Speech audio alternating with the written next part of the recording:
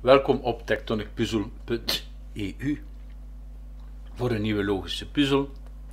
Vandaag gaan we stilstaan met de puzzel Tennergrid. Maar vooraf wil ik eventjes uw aandacht vestigen op uh, mijn nieuwste uh, creatie. Uh, een strategisch bordspel genaamd De tafels je zo is ook eh, binnenkort uh, verkrijgbaar in de, in de boekhandel, want het, uh, spel is eigenlijk uitgegeven in een boekvorm met middenin dan het spelbord. Hè. Maar binnenkort zal je dat via deze link of via de boekhandel meer informatie over vinden. Oké, vandaag gaan we dus naar de Tennergrid puzzel. Ook dit is een puzzel die al bestaat, maar die ik wat aangepast heb om de tafels mee te oefenen bovenste stuk is eigenlijk de opdracht en hieronder is eigenlijk uh, om het antwoord te kiezen. We kiezen een niveau van 1 tot en met 4 en uh, voorlopig zijn er, uh, maar op vraag kan ik dat uitbreiden, zijn er 10 puzzels per niveau beschikbaar.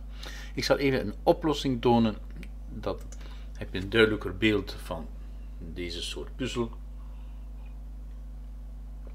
Je dient het eigenlijk te zien als 10 keer sommen onder elkaar, hè, zoals een cijferend, op de, cijferend vermenigvuldigen. Met de eerste factor, daaronder de tweede factor en dan het product, de uitkomst. En een aantal cijfers zijn weg, uh, weggelaten. Wat kan ons helpen? Deze eerste rij bevat altijd op een of andere volgorde de cijfers van 1 tot 10 en op deze rij daaronder hetzelfde. Dus dat kan je helpen bij het vinden van de antwoorden. Onder elkaar mag je twee keer hetzelfde hebben. Je, kan bijvoorbeeld, uh, je zou bijvoorbeeld 7 x 7 kunnen hebben onder elkaar. Maar je ziet, als, je, als ik hier kijk naar die 10, de buren, hè, de 7, de 2, hè, ze mogen nooit identieke buren hebben. Dus uh, hieronder, ja.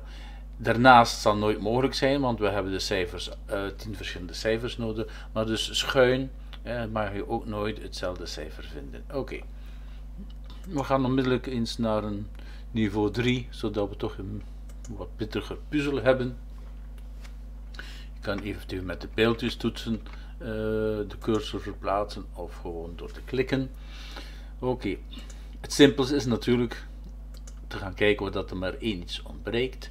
Hoe vullen we nu de cijfers in? Het linker gedeelte met de t is voor een tiental en het rechter is voor de eenheden. Dus hier heb ik alleen maar de eenheden nodig, dus ik vul een 5 in.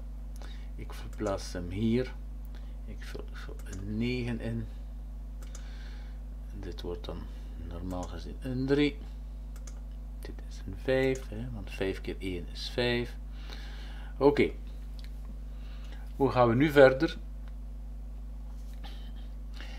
Kijk bijvoorbeeld die 4. Daar zijn twee mogelijkheden. 1 keer 4, 4 keer 1 of 2 keer 2. Maar 2 keer 2 zal niet mogelijk zijn, want die 2 staat hier in de buurt. Dus het wordt een 1 keer 4 combinatie. We hebben hier al de 1 van onder staan, dus de 1 zal van boven moeten. Zo, en zo breng je toch een soort extra, uh, dus het is uiteindelijk uh, keersom oplosbaar door het puzzel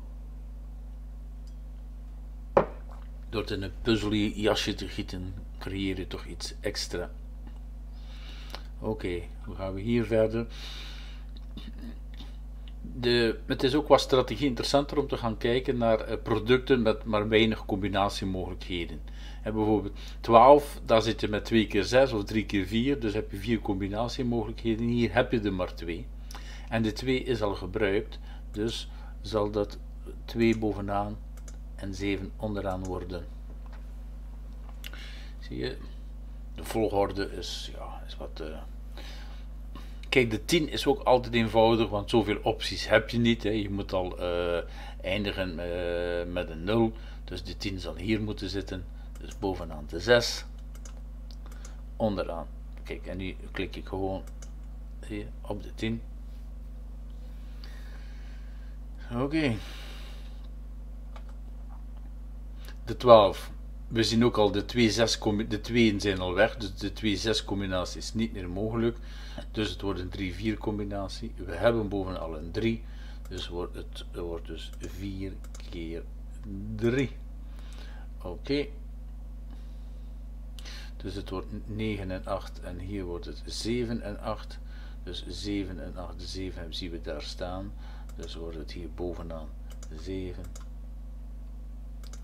en 8. En hier wordt het een 8 en een 9. En hier op het weetje kunnen we controleren. Het blijkt dus correct te zijn. Zo, ik hoop dat jullie het interessant vinden. Laat gerust iets weten per mail. Uh, ook als je extra puzzels wil, uh, dan kunnen die eigenlijk wel vlug uh, gaan bijvoegen. Zo, dit was het. Dag.